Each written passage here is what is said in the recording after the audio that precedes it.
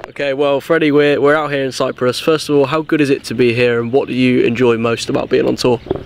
Uh, I would say the weather is quite nice because it's been raining for like two weeks in a row now in London. But come here, play nice games, can be out on the pitch for a bit longer time without freezing. So it's nice, nice. Do you think that's a, a real benefit, the fact that you can come on here and play in a bit warmer heat and maybe a, a bit of a better pitch at this time of year? I think you can do everything maybe a lot more specific. You can be out for longer set pieces without like getting cold. You can do shape work because that's not high intensity work. You can do all these bits that you want to do in winter, but you can't do it because of the heat cold. And if we just look back at, at February as a month, what's your overriding feelings in terms of how things have gone for the team recently? I think we're proving us every game that we're extremely fit and we can face all the opponents we actually do. Uh, just Chelsea is one example that we like came there. They have a quite good squad. Loftus Cheek is playing, but we go there and be strong and face two two one all. So in terms of the result against Chelsea, it was a, a really good performance. What were your thoughts in the dressing room after it? Everyone was very delighted with the result, and I think we faced them like quite early this season. Maybe got a quite big lose, so it was nice to that we're proving us and get 2-1 win. So it's good. 2-0 win, yeah. And in terms of getting your a goal as well, is that something you're keen to add to as the season goes on? Yeah, before my injury I had like a couple of goals against Midtjylland and so on, so it was nice to get the form back and keep scoring goals now and get some more points. Later that week we went to Salzburg to play FC Liefering. What were your feelings on that game? Because although it was a 4-2 scoreline, it, it certainly wasn't a bad performance, wasn't it? No, it wasn't a bad performance. I think we were like on the top games this season. I think we're just unlucky we conceded some sloppy goals that we like normally usually do. So I think we, yeah, we were a bit unlucky there. Yeah. Just on those defensive goals that you conceded, it's a learning process, and it? it's certainly something you're going to get get better from.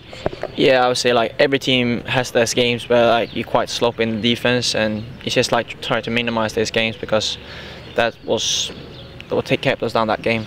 Yeah.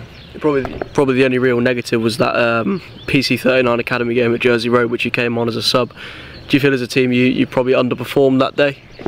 Yeah, it's not many games that I can think about that we underperformed, but that game was definitely that not a good game. Um, the stand was not good, good, quite there, so yeah, that's the game we didn't need to don't have so often because that was not the standards we want to have.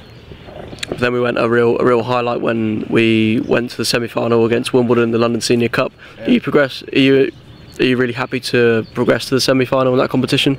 Yeah, I always love to win and keep a step closer to the finals. And we're up 1-0 and then conceded two goals and then get a comeback 2-2 and then win on penalties. That just shows our mentality and how strong we are.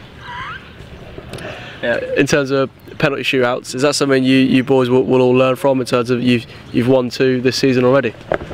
Yeah, I think that the final bit of penalties is all about find yourself mentality and like as a squad can come together and win on penalties is is, is an example of how strong we are together. So we're in two semi-finals at the moment. We've got Wealdstone in the Middlesex, and then we go on to Erith in the London Senior Cup. How much do you enjoy playing in those cup competitions? Because there's something different, aren't they, from every other game? Yeah, it's often we don't know that much about our opponents, and they're quite quite physical and we mostly play at teams that are quite good on possession, so it's a big difference what we play on. We can come to quite bad pitches, and we just need to adapt to that and focus on the game and try to get this result on our side. And I guess the team will be confident going into into that those two semi-finals that you can go all the way and win both, maybe. Yeah, last year I think we won one and lost one, so it will be really nice to go to the final in both cups this season and hopefully win both. And just looking at your progression uh, as an individual, how do you feel you're you're coming along at this stage of the season?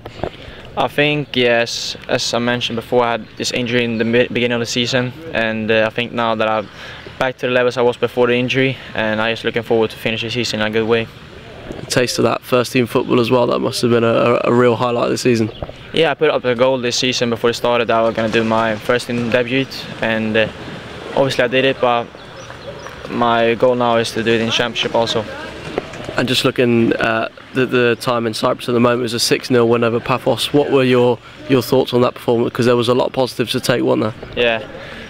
Before the game it was quite it was quite hot outside, and uh, I think we just did what we do. We press hard and we, we actually outrun the opponents, and we were much fitter than them. And obviously 6-0 was quite big result, and I think we it was a great game.